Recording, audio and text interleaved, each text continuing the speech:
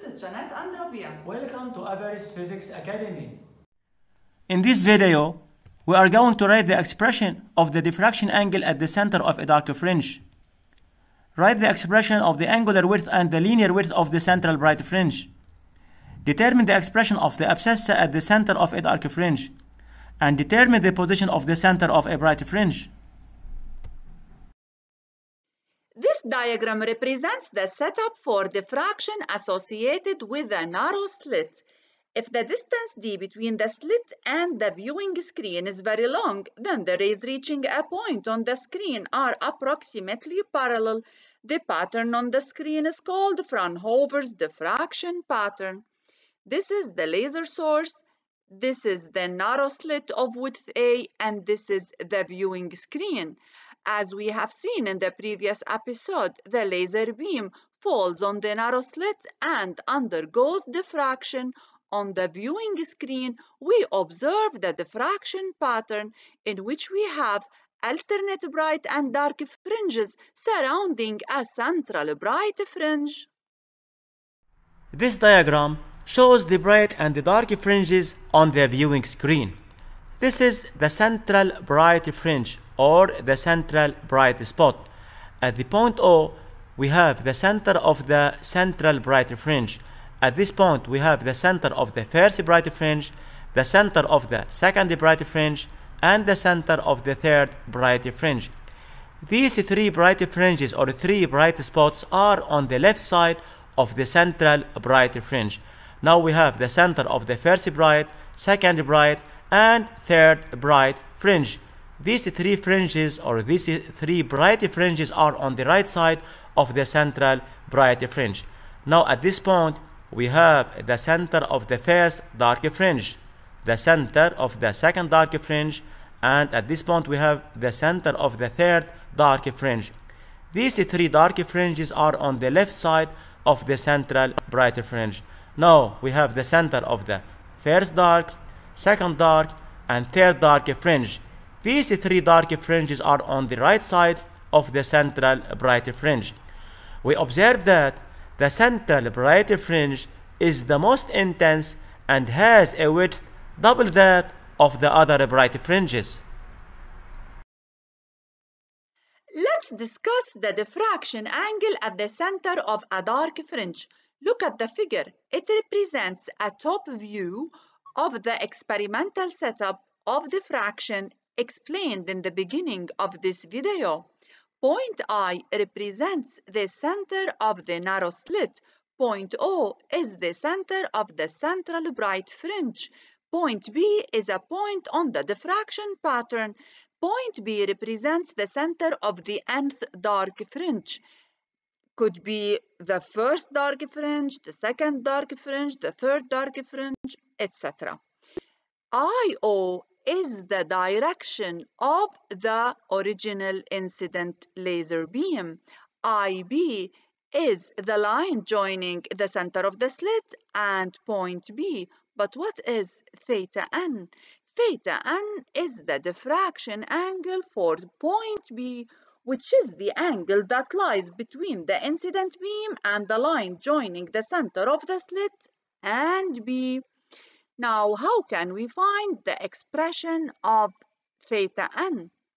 The expression of sine theta n is n lambda over a. Lambda is the wavelength of the incident laser beam.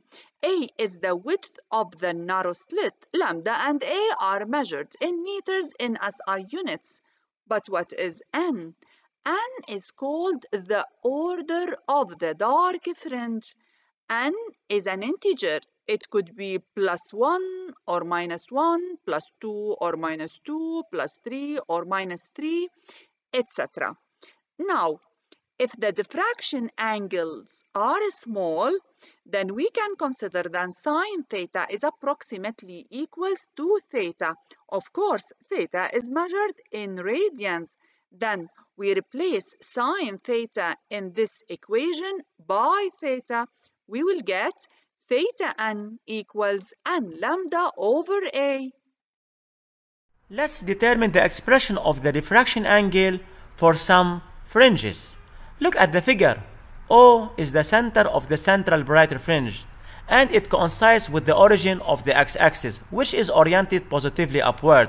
So this side represents the positive side of the x-axis and this side represents the negative side of the x-axis.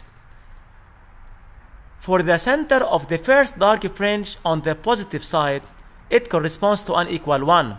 So replace n by 1 in the expression of theta n, so the diffraction angle of this dark fringe theta 1 equals lambda over a. Now consider the center of the first dark fringe but on the negative side.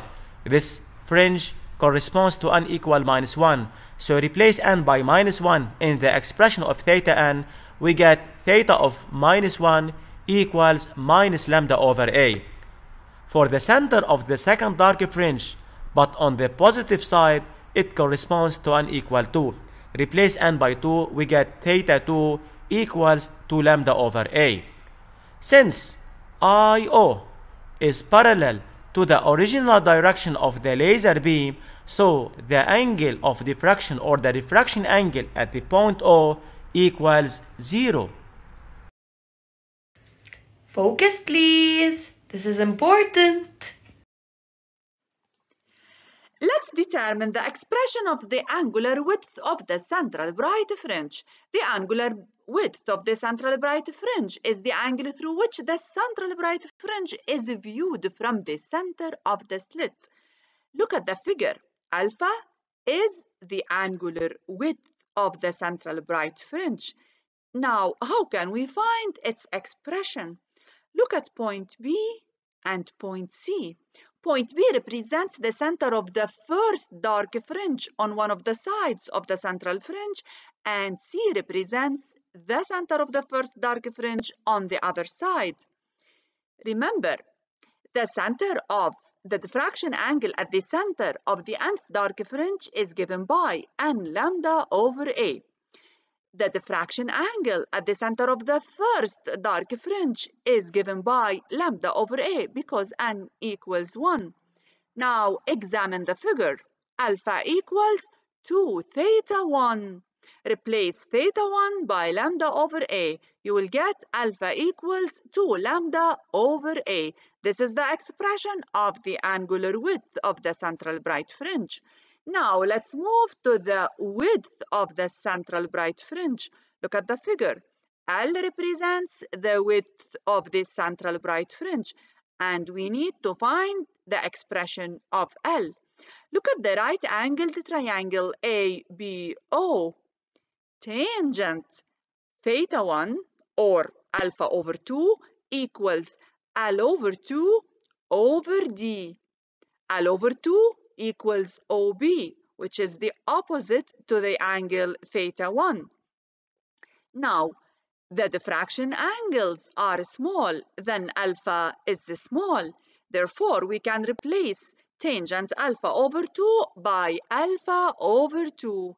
Rearrange, you will get alpha L equals alpha times D and if we replace alpha by 2 lambda over A, we will get 2 lambda D over A. By referring to the viewing screen, we can conclude that when the linear width of the central bright fringe increases, the diffraction pattern becomes broader. Using the expression of L proved in the previous slide, let's study how do lambda, D, and A affect L. Since A is in the denominator, then L increases if the dimensions of the aperture decreases. Since lambda is in the numerator, then L increases if the incident rad radiation is replaced by another one having a longer wavelength. Similarly, since D is in the numerator, so L increases if the distance d between the screen and the slit increases. Now let's determine the expression of the position of the center of a dark fringe. Look at the figure. Point B represents the center of the nth dark fringe and we want to determine the position of point B. The position of point B is denoted by xn, the abscissa which is measured relative to the origin of the x-axis. Now, look at the right-angled triangle IBO. Tangent theta n equals xn over d. xn is opposite to the angle theta n and d is adjacent. But we have small diffraction angles, then we can replace tangent theta n by theta n. Then xn equals d theta n. Now, you know that theta n equals n lambda over a. Then replace theta n in the expression of x by n lambda over a. We will get xn the position of the center of the nth dark fringe is n lambda d over a. Using the expression of xn proved in the previous slide, let's determine the expression of the positions for some dark fringes. Consider the center of the first dark fringe on the positive side. This dark fringe corresponds to n equal 1, so replace n by 1 in the expression of xn, then the position or the abscissa of the center of the first dark fringe on the positive side is given by lambda d over a. Now consider the center of the first dark fringe but on the negative side. This fringe corresponds to n equals minus 1. Similarly, replace n by minus 1, we get the position of this fringe which is equal to minus lambda d over a.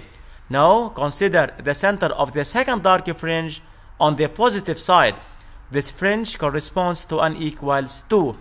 Then replace n by 2 in the expression of xn, then x of 2 or the position of this dark fringe equals 2 lambda d over a.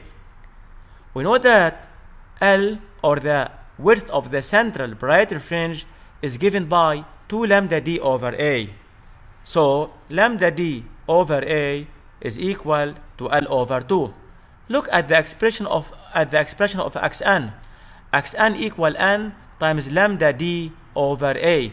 But lambda d over a equals L over 2. So we can conclude that xn equals n times L over 2. Let's discuss the position of a bright fringe. In all our experiments, the diffraction angles are small than the central bright fringe is twice as broad as other bright fringes. Look at the figure. L is the width of the central bright fringe, and because the central bright fringe is twice as broad as other bright fringes, then the width of a bright fringe is L over 2. The center of a bright fringe is approximately halfway between the centers of its bordering dark fringes.